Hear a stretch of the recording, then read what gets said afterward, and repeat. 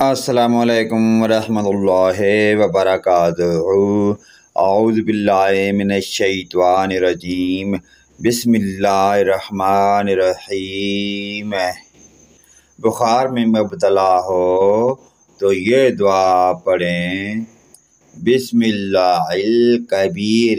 اعوذ باللہ العظیم۔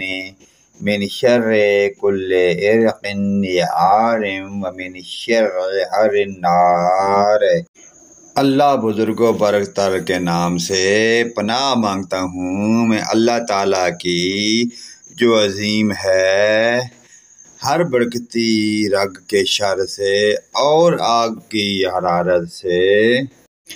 دوسری دعا سماعت فرمائیں، جب کسی کو مصیبت زدہ دیکھیں تو یہ دعا پڑھیں الحمد للہ الذی افعنی مما کا ببی وفدلنی علی کثیر ممن خلق تفضیلا۔ تمام تعریفیں اللہ تعالیٰ کے لیے ہیں۔